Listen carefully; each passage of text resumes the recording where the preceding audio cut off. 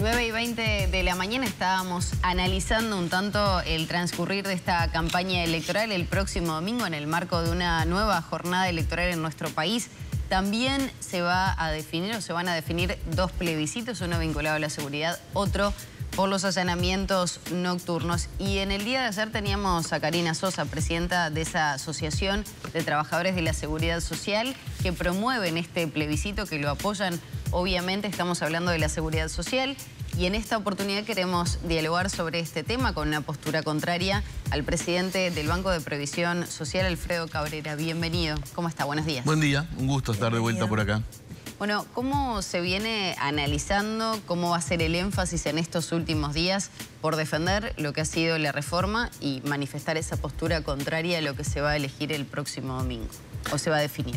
Bueno, en, mi caso, este, básicamente voy a seguir haciendo lo que he hecho a lo largo de la campaña, que es tratar de dar información y clarificar los aspectos este, más relevantes eh, que a nuestro juicio hacen que eh, concluyamos, pues, en función de, los servicios del banco, de que es una mala, eh, una mala solución la propuesta en el plebiscito. O sea, en definitiva, más información, porque además lo que muestran por ahora las encuestas es que a medida que hay más información, decrece la adhesión a la propuesta. Eso es un poco lo que la tendencia que estamos viendo, así que me parece importante utilizar instancias como esta para seguir informando sobre la, inconveniencia del plebiscito. ¿Y los servicios del, banco, presidente, han, recibido más, más, consultas de un tiempo a esta parte? Eh, ¿Han tenido que atender más llamadas telefónicas o presencialmente y, explicando la situación que tal vez eh, personalmente alguna ¿Alguna gente puede tener alguna duda de cómo le puede afectar o no la reforma?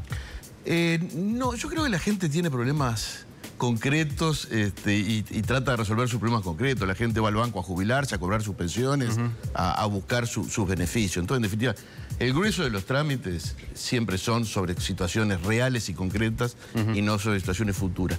Dije la última vez que estuve por acá que lo que había era una posibilidad de que algunas personas intentaban este, sacar el 9%, que generó un, generó un revuelo. Generó un pequeño revuelo. Eh, no fue la intención, pero bueno, eso es un dato de la realidad. O sea, hay, hay personas que ante la eventualidad de que algo cambie pueden utilizar los mecanismos vigentes. Retirar su dinero de la FAP, que es el 9%, el 9% de, de, aquellas personas que teniendo causal jubilatoria tienen más, más de tres años de trabajo.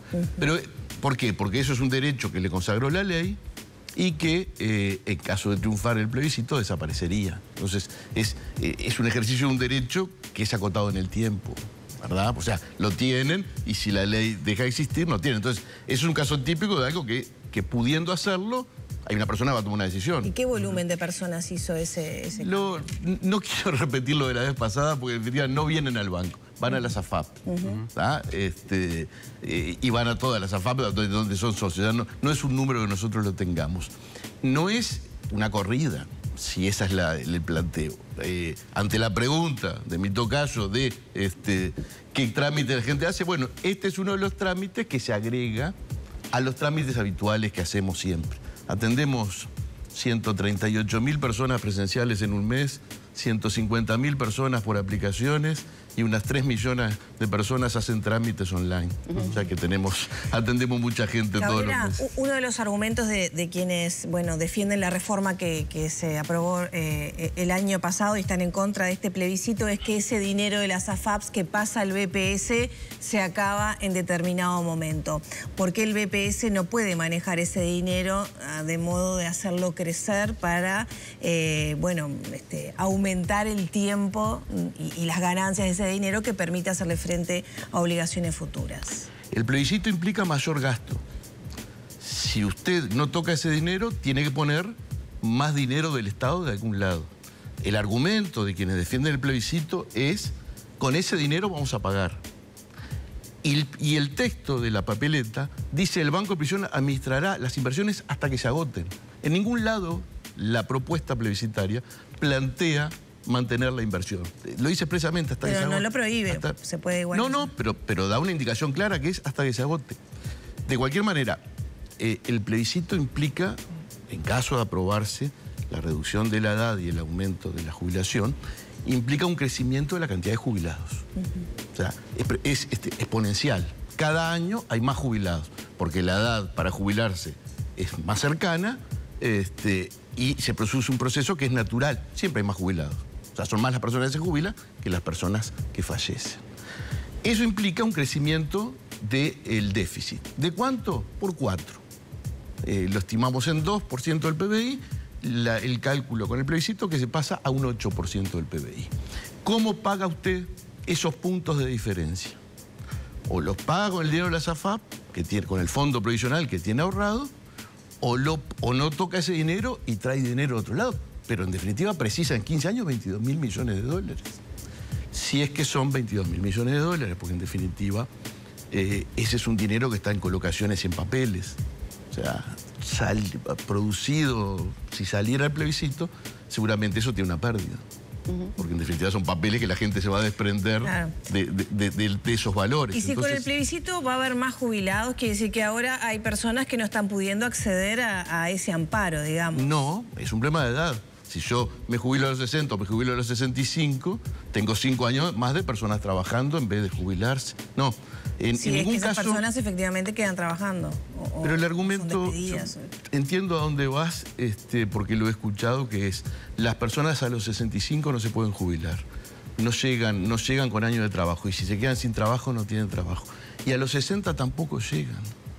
Que también es el otro argumento, que es, este, ¿qué va a pasar con la gente que no llega? Bueno, es, es, la misma situación para una persona que no tiene la historia laboral completa a los 60 y a los 65. En ambos casos tienen este, un subsidio transitorio por inactividad compensada y un seguro de desempleo que les permiten tres años este, en ambos casos. O sea, quien tiene que jubilarse a los 60, a partir de los 58 ya podría, si se quedó sin trabajo, tener una cobertura. En el caso de los 65 sería a partir de los 63. Es lo mismo, no cambia en eso. Ahora, yo me pongo en el lugar de las personas que, nos escuchan y yo entiendo que, que reciben mensajes opuestos. ¿no? Totalmente antagónicos. Eh, exacto. Totalmente. Entonces, a veces hago el ejercicio de decir, bueno, ¿cómo puedo yo explicar para demostrar este, que esta es la verdad y no, y no la otra? La verdad que es difícil, porque en definitiva las personas pueden creerla uno a otro. Con lo cual, eh, mirando un poco, me puse a mirar, por ejemplo, qué dijo la OIT. ¿Qué opinó la OIT sobre eh, el sistema nuestro y el, y sobre la reforma que hicimos el año pasado. Entonces me lo traje porque la verdad que cuando uno dice, bueno, ¿quién puede ser alguien objetivo? La OIT es un organismo insospechado, ¿verdad? Este, en los hechos siempre el PIT y el sector trabajador se invoca este, la OIT. Entonces, si ustedes me permiten, bien cortito, yo le voy a leer lo que dijo el experto en pensiones de la OIT cuando eh, se trató el tema en el Parlamento, cuando se trató la reforma en el Parlamento. Dijo dos cosas. Dijo, hemos analizado el sistema y vemos que tiene un buen desempeño y sirve de modelo a nivel regional por la amplia cobertura que tiene, por la suficiencia de sus pensiones, por la gobernanza basada en el, tripartismo, el tripartismo y el diálogo social y por la estructura multipilar que permite distribuir de mejor manera los riesgos propios de un sistema de jubilación. O sea, esto es lo que teníamos. Dice, es multipilar, permite distribuir los riesgos, tiene amplia cobertura. Y agrega, pero este buen desempeño se da en un contexto dinámico que está generando cierta presión al sistema. Estas fuentes de presión son externas, propias del proceso demográfico y en ese momento dice epidemiológico porque estábamos saliendo de la pandemia. O sea que el experto de OIT hace el mismo análisis que se tiendo a hacer yo o hacemos las personas que estamos en el sistema, que el sistema es bueno, es multipilar, pone los huevos en distintas canastas, tiene una pata de reparto, tiene una pata de ahorro y recibe tensiones. ¿Cuáles son las tensiones más importantes que recibe? El aspecto demográfico. Cada vez este, hay más pasivos y menos activos para... Y, me, sí. ¿Me dejas redondearlo un segundo? Y dice, respecto a la reforma, y dice respecto a la reforma, la OIT, no Alfredo Cabrera ni el gobierno, la OIT dice la reforma propone una nueva arquitectura del sistema en línea del camino que recorren países con desafíos similares. Consolida un sistema mixto de aporte público, fondo colectivo y ahorro privado. Fortalece el pilar no contributivo en línea con la recomendación número 202, reorienta los fondos públicos hacia quienes más los necesitan y rebalancea el régimen general y Esta es la opinión de la OIT. En base a eso, una de, creo que de las motivaciones de quienes apoyan este plebiscito tiene que ver con la edad jubilatoria, claramente. Uno es la SAFAP, el otro gran pilar es la edad jubilatoria. Mm. Y en ese sentido le quiero consultar para poder desasnarnos bien respecto a algunos asuntos. Si yo hoy, o con el régimen anterior, a los 60 me jubilaba, si yo seguía trabajando unos años más, ¿recibía un plus? Varía porque hay más aporte, pero no es un plus. O sea, se calcula nuevamente la jubilación y en función de más años de aporte Bien. vas a cobrar otro dinero. Hoy por hoy, si yo trabajo hasta los 65, va a ser como el régimen anterior, donde me jubilaba a los 60. Voy a tener que trabajar más años para recibir un poco más de jubilación. Siempre si tú trabajas más que el mínimo vas a recibir más, en cualquier edad. Siempre, si vos trabajas más tiempo, vas a recibir más porque hay una acumulación superior. O sea que hoy Eh, voy a tener que trabajar tal vez dos o tres años más para recibir una sobrecuota de mi jubilación. Sí o no. 67, 68.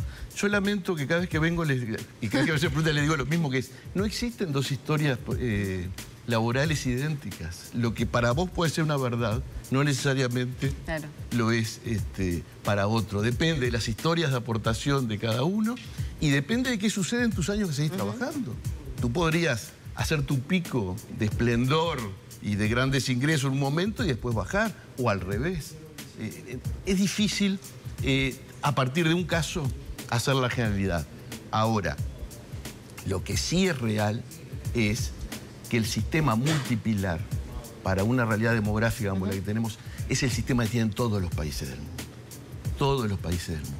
Cuando dicen que eh, los países se van del ahorro, es una verdad a medias, o sea que es una mentira. Se van los países que solamente tenían ahorro individual y no tenían pilar solidario. Por ejemplo, Chile, que está yendo a un sistema como el uruguayo. Colombia, que acaba de agregarle, este, y en ambos casos con gobiernos progresistas o de izquierda, que le acaba de agregar un pilar de reparto. O sea, en definitiva, sin sistemas- el cobro de la comisión que cobra la SAFAP para, bueno, para llevarlas adelante, ¿no hubiera sido mejor? ¿No, no es mejorable la comisión que cobran las AFAP por administrarlas?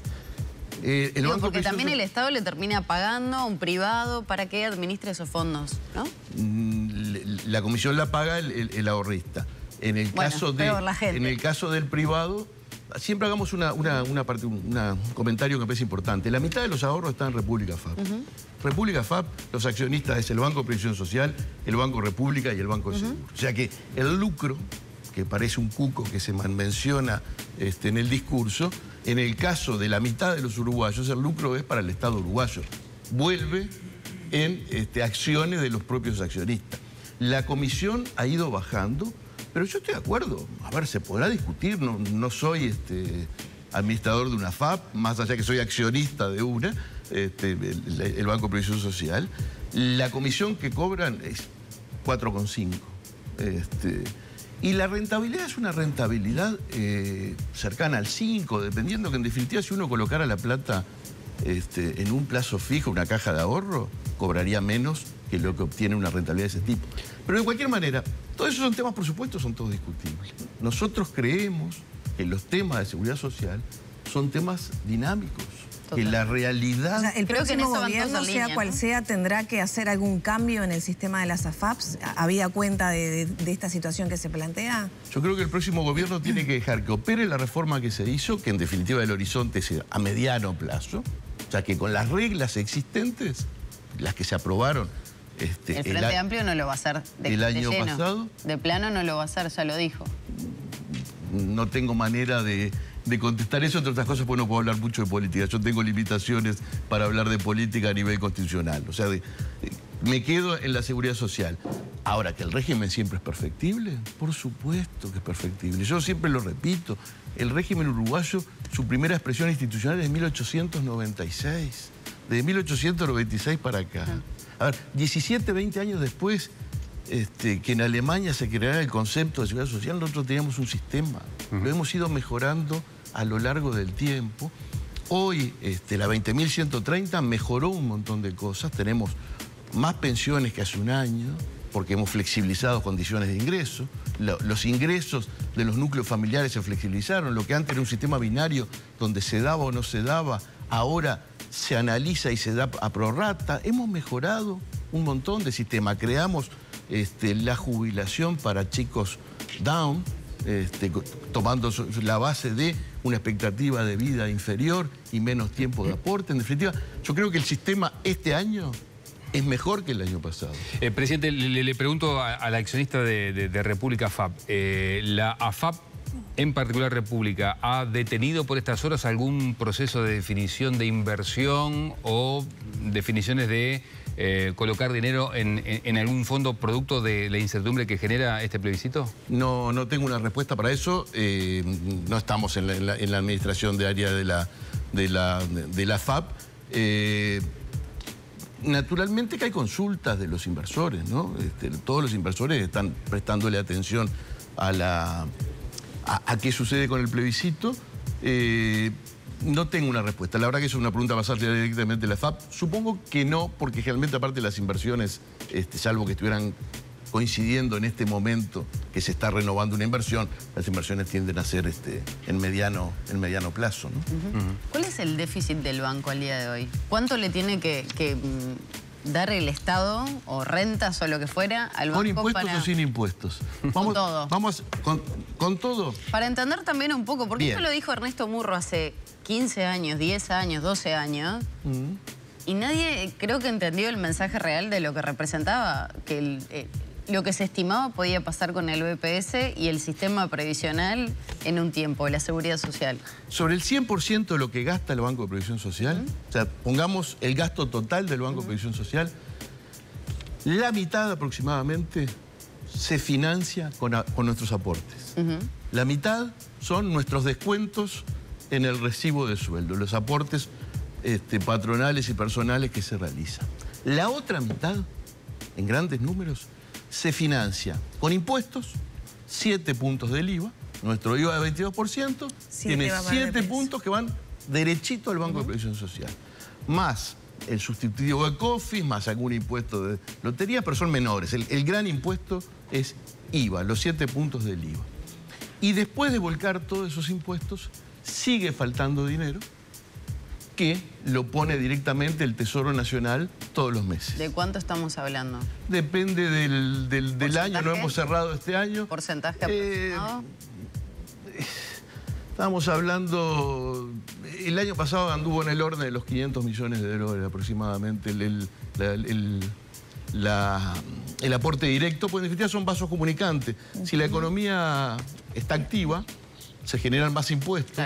Por lo tanto, entra más dinero por impuestos y entra menos dinero por Y en los hechos, el Banco Social tiene una caja, una caja corriente, una cuenta corriente con el Tesoro claro, se dice déficit, pero es posible, porque piensa, uno piensa déficit, pero son prestaciones para, para la población, para sostener, ¿no? Eh, ¿Es, pensable un sistema... Este, ¿Sin déficit? ¿Sin déficit? No, no es pensable. Y la reforma no buscó terminar con el déficit. La reforma lo que buscó es mantener la sustentabilidad del sistema en el mediano plazo. La reforma, la previsión sin reforma era que íbamos a gastar cuatro puntos y medio del PBI. Con reforma dos, en el mediano plazo. ¿Pero por qué? Porque nosotros que tenemos hijos... Seguimos pagándonos este, nosotros además la jubilación por más eh, tiempo. Le estamos trasladando para adelante el problema a nuestros chicos. Esa es la realidad. Este no es un problema de los veteranos. Eh, es de los jóvenes. Presidente, eh, le hago la última, la del estribo, y aprovecho que lo tengo acá, no tiene nada que ver con lo de la reforma, pero quiero preguntarle, capaz que lo saco apurado, lo saco al toro. ¿Tiene en la cabeza algún dato sobre certificaciones médicas? ¿Hay menos certificaciones médicas después de los cambios instrumentados por el, por Ejecutivo? Por, a ver, hay dos tipos de cambios. Uno son los de los públicos y otros de los privados. ¿Es verdad? En los públicos yo no tengo nada que ver, porque precisamente como los públicos lo seguía pagando el organismo, no, eh, el sistema hasta, hasta el cambio no pasaba por el Banco de Previsión Social. Y ahora pasa la certificación en aquellos organismos que ya se incorporaron, mm. pero no el subsidio, porque lo sigue pagando el organismo. O sea que yo eso no se lo puedo eh, en números reales, que lo que me piden no se lo puedo decir porque no, es este, no, son pagos nuestros. En el sistema privado, donde hicimos aquel sistema central, estamos, eh, me reuní hace 15 días con todos los prestadores eh, y les estamos dando nuestra primero, nuestro primer retorno y análisis de un año de aplicación. ¿Qué dice qué cosa?